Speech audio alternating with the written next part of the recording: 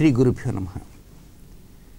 చంద్రమంగళ యోగము అక్టోబర్ ఇరవై తొమ్మిదవ తేదీన కుజగ్రహాన్ని చంద్రుణ్ణి ఈ రెండు గ్రహాలని ఒకే బిందువు దగ్గర ఉండటం మనం ప్రత్యక్షంగా చూడగలిగాం.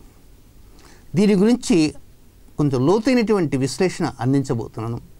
వీడియో పూర్తిగా చూడటానికి ప్రయత్నం చేయండి.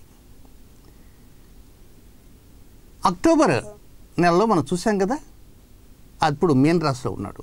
దానికంటే ముందు ఏం జరిగింది అనేది చెప్తాను. ఆగస్టు నెల పదహారవ తేదీన మీనరాశిలో ఉన్నటువంటి కుజుడు మేషరాశిలోకి వచ్చాడు. మీనరాశి అనేది ఒక జలరాశి. మేషరాశి అగ్నిరాశి. ఆగస్టు పదహారున జలరాశిలో నుంచి అగ్నితత్వ రాశిలోకి వచ్చాడు. అక్టోబర్ నాలుగవ తేదీన తిరిగి అగ్నితత్వం నుంచి జలంలోకి వెళ్ళాడు. తిరిగి డిసెంబర్ ఇరవై నాలుగవ తేదీన జలరాశి నుంచి మళ్ళీ అగ్నితత్వంలోకి వస్తున్నాడు. ఇంకా అక్కడి నుంచి వెనక్కి వెళ్ళేది ఇంకా ముందుకే నడుస్తుంటాడు. అంటే ఆగస్టు పదహారు అక్టోబర్ నాలుగు డిసెంబర్ ఇరవై నాలుగు మూడు సార్లు గండాంతం జరిగింది అంటారు. అంటే మేషరాశికి మీన రాశికి మధ్య ఉండేటువంటి సంధిస్థానం.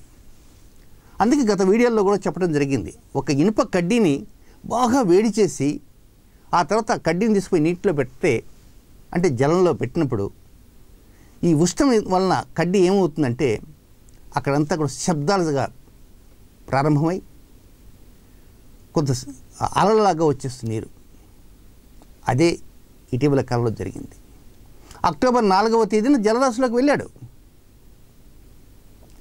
ఆ వెళ్ళిన కారణంగానే భారీ వర్షాలు విపరీతంగా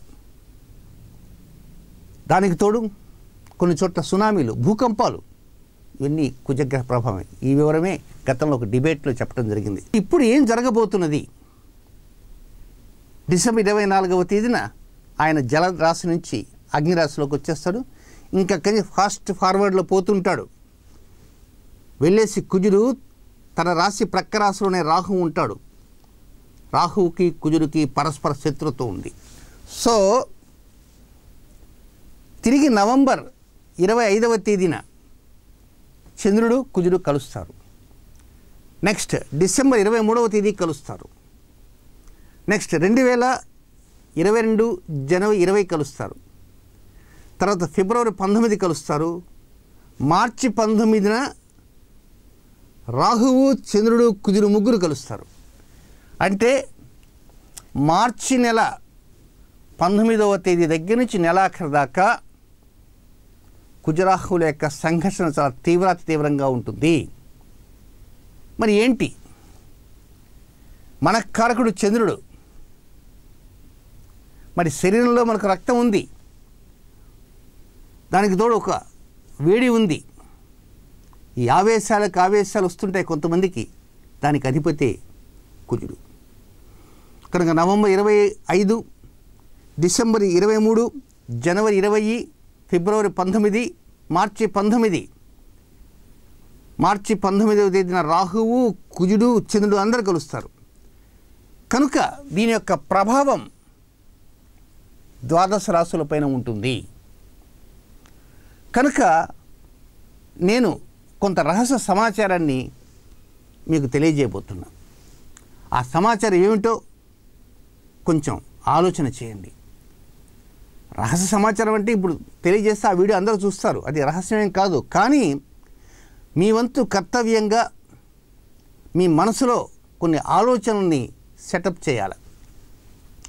ఆ విధంగా సెటప్ చేస్తూ నేను చెప్పేటువంటి ఈ తేదీల్లోనే అంటే నవంబర్ ఇరవై ఐదు డిసెంబర్ ఇరవై మూడు రెండు వేల ఇరవై రెండు జనవరి ఇరవైవ తేదీ ఫిబ్రవరి పంతొమ్మిదవ తేదీ మార్చి పంతొమ్మిది తేదీ చక్కగా చూడొచ్చు.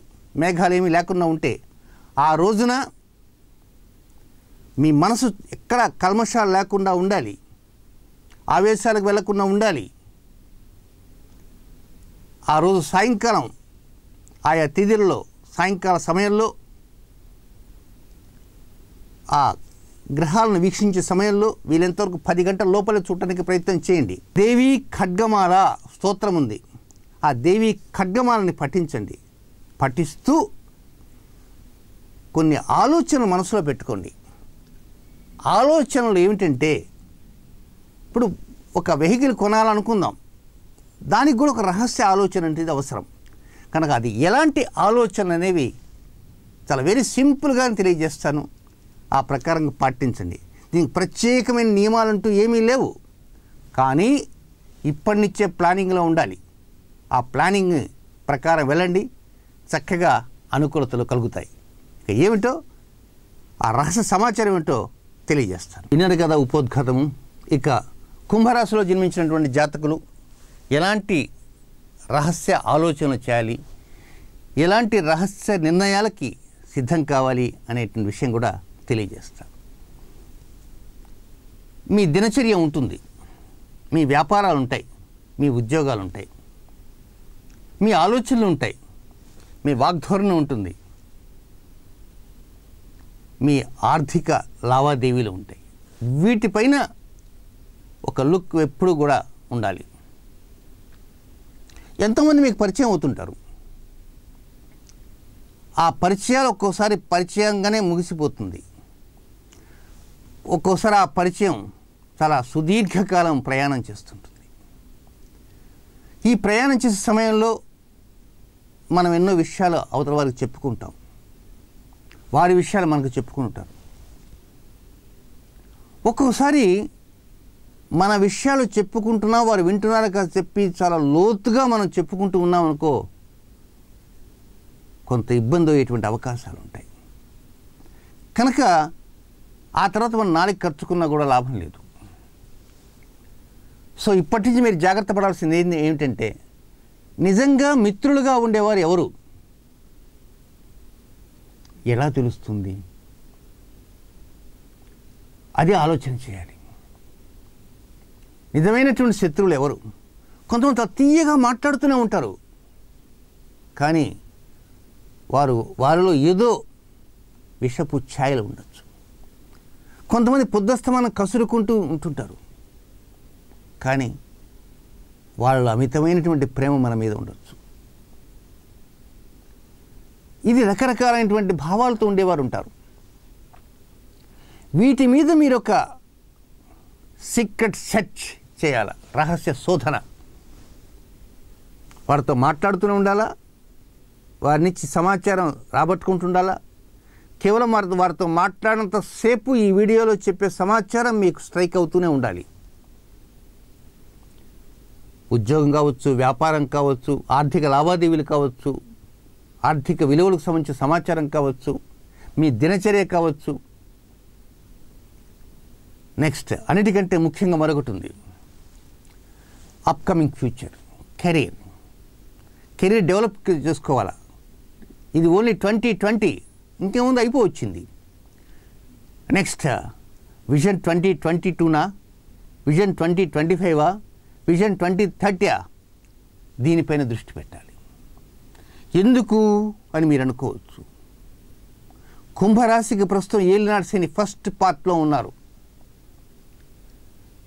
ఆ తర్వాత సెకండ్ పార్ట్ రెండు వేల ఇరవై మూడు జనవరి పదిహేడుకు స్టార్ట్ అవుతుంది. ఆ థర్డ్ పార్ట్ రెండు వేల ఇరవై ఐదు మార్చి ఇరవై తొమ్మిదికి స్టార్ట్ అవుతుంది. రెండు వేల ఇరవై ఎనిమిది ఫిబ్రవరి పన్నెండు కల్లా ముగిసిపోతుంది. ఫిబ్రవరి పన్నెండు ఇరవై ఒకటో ఉంది. ముగిసిపోతుంది. కానీ ఈ మూడు భాగాలు ఏలినాటి శనిలో మీ డెవలప్మెంట్ ఏమిటి? శని అనుకూలం చేసే అవకాశాలు ఉన్నాయి. బట్ శనికి ప్రధానమైనటువంటి శత్రువే కుజుడు. ఆ కుజుడే జలం నుంచి అగ్ని అగ్ని నుంచి జలం జలం నుంచి అగ్నిలోకి ఇట్లా గండాంతాలు దాటి రాహుతు యుద్ధానికి వెళ్తున్నాడు. ఇలాంటి సమయంలో శని నిజంగా మనకి ఇవ్వవలసినటువంటి శని తర్వాత చూద్దాం అని చెప్పి వెళ్ళిపోతాడా? ఒక వ్యక్తి మీకు డబ్బు ఇవ్వటానికి మీ ఇంటి దగ్గరికి వచ్చాడు. మీ ఇంట్లో ఎవరో గట్టిగా మాట్లాడుతున్నారు. పెద్ద పెద్దగా మాట్లాడుకుంటున్నారు. ఆయన విన్నాడు. విని ఏం చేశాడు? ఏదో లోపల గర్భ జరుగుతున్నట్టుంది. మరి మనం ఇప్పుడు ఈ సమయంలో ఆయనకి ఏదైనా డబ్బు కనుక ఒక రెండు మూడు లక్షల రూపాయలు ఇస్తే ఈ గలాట గద్దంగా ఉంది కలహాల కలహప్రదంగా ఉంది ఎందుకు లేదంతా అని చెప్పి వెళ్ళిపోతాడు. ఆ తర్వాత ఏంటి ఇంకా రాలేదని చెప్పి మళ్ళీ మీరు వెళ్ళారనుకో అప్పుడు ఆయన ఏమంటాడంటే వచ్చాయండి కానీ ఇంతలో వేరే అవసరం వచ్చి వేరే వాళ్ళు కట్టవలసి వచ్చింది. ఆ విషయం చెప్పడానికే మీ ఇంటి దగ్గరికి వచ్చాను. మీ ఇంట్లో లోపల ఏదో కొంచెం అరుచుకుంటున్నారు. సరే ఇప్పుడు ఎందుకు ఈ విషయం మీకు చెవిని వేయటం బాధపడతారని చెప్పి వెనక్కి వచ్చానంటాడు చూసారా? Simple thing. కనుక మీరు ఎప్పుడైతే ఈ ఘర్షణ వాతావరణం కుజరాహుల ఘర్షణ వాతావరణం జరుగుతున్న సమయంలో ఏలి నడిచింది అనుకుంటాడు ఇదంతా మనకెందుకు ఇప్పుడు ప్రస్తుతం దూరంగా ఉండటం మంచిదని. అందులో మీ ధనస్థానంలోనే కుజుడు ఇప్పుడు ప్రస్తుతం ఉన్నాడు. అది జలస్థానం దానికి ఆ తర్వాత ఆయన వెళ్తాడు. ఆ తర్వాత రాహుతోటి ఆయన కుజ వర్సెస్ రాహు వర్సెస్ చంద్ర. మార్చి నెల పంతొమ్మిదవ తేదీ రెండు వేల ఇరవై. సో ఇప్పుడు మీరు గమనించవలసింది ఏంటంటే ప్రతి విషయంలో కూడా కొంత సీక్రెట్ సెర్చ్ అవసరము. మీ మీద ప్రేమగా మాట్లాడే వారిపైన సీక్రెట్ సెర్చ్ అవసరం. మిమ్మల్ని అరిచేవారు ఉంటారు కరిచేవారు ఉంటారు కోప్పడేవారు ఉంటారు. అలాంటి వారిపైన కూడా సీక్రెట్ సెర్చ్ అవసరం. ఇలా చేసి ఏం సాధిస్తాము అని మీరు అనుకోవచ్చు. నన్ను ప్రశ్నించవచ్చు. ఇలా చేసిన కారణంగా శోధించిన కారణంగా లాస్ట్ ఎక్కడో కొండంతో ఇలికిన పట్టినట్టుగా ఏదో ఒకదాన్ని పట్టేస్తారు. ఎప్పుడు మంచి నిర్ణయాలతో ఉంటూ ఆ దేవత అనుగ్రహం కలిగితే అప్పుడు. కలగాలంటే మనం ప్రయత్నం చేస్తేనే కదా కలిగేది. కనుక ఆ దేవత అనుగ్రహం కలగటం కోసంగా మీరు ప్రయత్నం చేయండి. బట్ ఆయా రోజుల్లో నేను చదవాలని ముందు రోజు చదవచ్చుగా? అనుకో చదవండి నష్టమైన కానీ ఆయా రోజుల్లో ఆ రెండు గ్రహాలు కలిసి ఉంటాయి. అది కనపడలేదు అయినా కలిసే ఉంటాయి. మధ్య మేఘాలు అడ్డొచ్చాయి కలిసే ఉంటాయి. సూర్యుడు కనపడలేడు కానీ ఉన్నాడుగా అక్కడే ఉంటాడు. సో దీన్ని బట్టి మీరు ఆలోచన చేయవలసింది ఏంటంటే మంచి వ్యక్తుల యొక్క సహకారం కావాలి. దుష్ట స్వభావంతో ఉండేవారి వ్యక్తుల్ని వదిలించుకోవాలి. కానీ ఎవరు దుష్టులు? అది దుష్టత్వంతో ఉంటూనే మనల్ని ముంచేస్తారు. కనుక సాత్వికత్వ మిత్రత్వం ఇలాగ ఉంటూ నిజమైనటువంటి అభిమానం ప్రేమ చూపించేవారు ఉండవచ్చు ఒక్కోసారి అరవచ్చు కొప్పడచ్చు. కనుక ఆ కోపంలో కూడా ఎక్కడో తీపి అభిమానం ఉంటుంది. కనుక దీన్ని గమనించుకుంటూ ముందుకు వెళ్ళగలిగితే సరైనటువంటి నిర్ణయాలు తెలుసుకుంటారు. ఆ నిర్ణయాలకు తగ్గట్టుగా పావులు కదుపుతారు. ఆ పావులకు తగ్గట్టుగా లబ్ధినిది చేరుతుంది. ఏలినాటి శని పరోక్షంగా లాభించడానికి అవకాశాలంటూ అంది వస్తాయి. శుభం.